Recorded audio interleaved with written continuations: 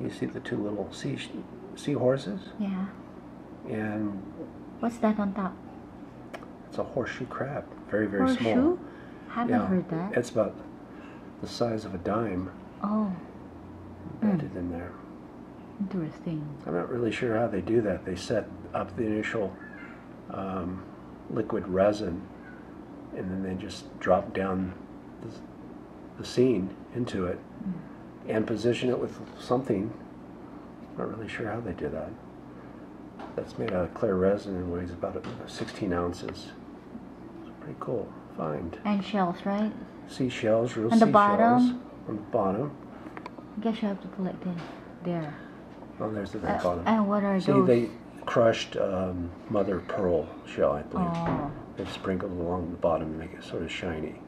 And there are like leaves too. Well, sea plants, sea vegetation, Yeah. and everything's real in there. Yeah. It's nice. Now, we're going to keep this. We're not going to sell this. The thing is that if you go to sell this on eBay, they won't allow you because seahorses are on the endangered list. They won't let you sell. I believe dead or mm-hmm. alive, you know, so you can't sell something like this Oh. on eBay.